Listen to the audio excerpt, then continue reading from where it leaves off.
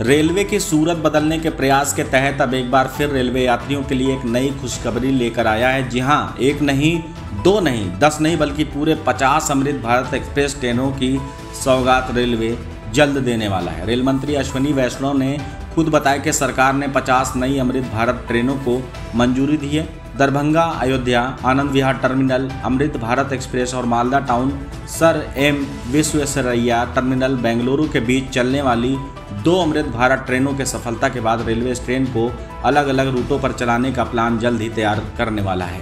केंद्रीय रेल मंत्री ने एक्स पर लिखकर घोषणा की कि 30 दिसंबर को प्रधानमंत्री नरेंद्र मोदी द्वारा हरी झंडी दिखाई गई। पहले दो ट्रेनों के लिए प्राप्त सकारात्मक प्रतिक्रिया के आधार पर 50 नई अमृत भारत ट्रेनों को मंजूरी दी गई है। बता दें, इस ट्रेन की शुरुआत के बाद यात्रियों ने इसे हाथों हाथ लिया। ट्रेन की खूबसूरती के साथ साथ इसमें लगाया गया अत्याधुनिक उपकरण और अन्य डिवाइस यात्रियों के सफ़र को सुखद बना देते हैं। Amrit Bharat express superfast passenger train Linke Hofmann Busch तकनीकी वाला है या नॉन एसी कोच वाली पुश पुल ट्रेन है। अमृत भारत एक्सप्रेस ट्रेनों में रेल यात्रियों के लिए आकर्षक डिज़ाइन वाली सीटें, बेहतर सामान रैक, उपयुक्त मोबाइल होल्डर के साथ mobile charging point LED light CCTV सार्वजनिक सूचना प्रणाली जैसी बेहतर सुविधाएँ उपलब्ध रहेंगी।